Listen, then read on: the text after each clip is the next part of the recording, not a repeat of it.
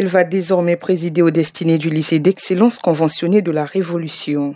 C'est d'elle qu'il s'agit, Orti Amelia Malou, qui substitue à Firmé Mungala, concepteur du projet de création du dit établissement scolaire.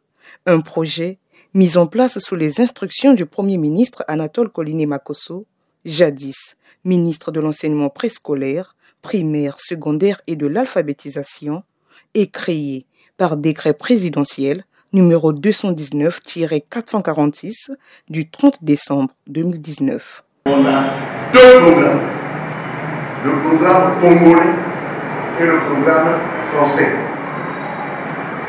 Ce qui va nécessiter d'ailleurs de l'équipe qui met en place la disponibilité, il faut réfléchir, réfléchir.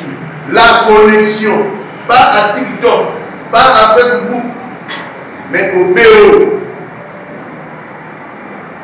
Il faut naviguer, il faut être connecté au ministère de l'Éducation nationale de la France, parce que nous faisons le programme. Nous avons réussi à faire que cette école présente des candidats français de l'Académie de Nantes. Nous avons commencé avec 12 candidats, M. Mayoke Medela, et nous avons fini, je finis avec 52 candidats, avec des très bons résultats.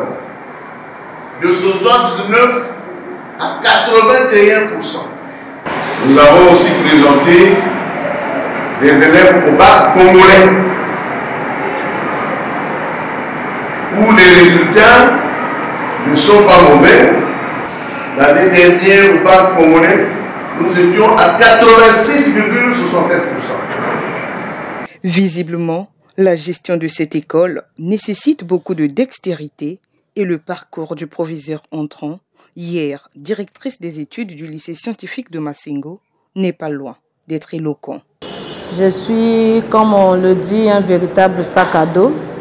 J'ai commencé l'encadrement avec le poste de surveillante générale du lycée. J'en ai exercé pendant cinq ans. Je suis passée directrice des études vague B, directrice des études vague A.